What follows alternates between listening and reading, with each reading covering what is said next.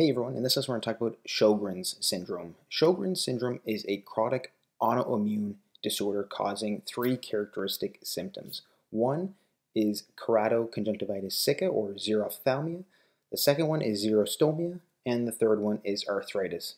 So there is a triad of symptoms. The three symptoms are dry eyes, so xerophthalmia. The second is dry mouth, so xerostomia. And the third is arthritis. Now, women generally outnumber men with this condition, and it, it usually occurs uh, with an onset between the ages of 40 and 60 years old.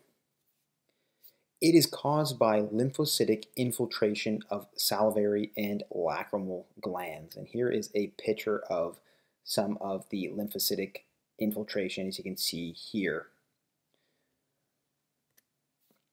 There are two types of Sjogren syndrome. One is considered primary. Primary Sjogren syndrome is Sjogren syndrome that is not associated with another condition. And secondary Sjogren syndrome is secondary to another condition. Some of those conditions can include rheumatoid arthritis, lupus, and HIV. Now, when we look at the clinical manifestations of Sjogren syndrome, we generally split it into glandular and extraglandular manifestations. The glandular manifestations are those sicca symptoms. Those sicca symptoms are those dry symptoms. So dry eyes and dry mouth. So the complications from having dry eyes is we have an increased risk for blepharitis, so inflammation of the eyelids, and generally it's due to an infection by Staphylococcus. The dry mouth increases the risk for dental caries, oral candidiasis, and angular cheilitis. The extraglandular manifestations can include arthralgias and arthritis, so that would be the third symptom in our triad of Sjogren's symptoms. But it can also include other symptoms, sinusitis, ILD, or interstitial lung disease, and is generally a diffuse pattern. You can get xerotrachea, so a dryness in the trachea. There's an increased risk for glomerulonephritis. Palpable purpura can also occur as an extraglandular manifestation of Sjogren's. Vasculitis as well, peripheral neuropathy, and having Sjogren's syndrome increases your risk of non-Hodgkin's lymphoma later on in your life. So how do we make the diagnosis for Sjogren's syndrome? There are particular diagnostic criteria we can use to make the diagnosis.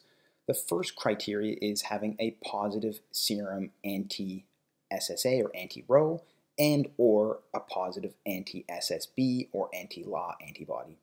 So those two are the antibodies associated with Sjogren syndrome, anti-Ro and anti-La.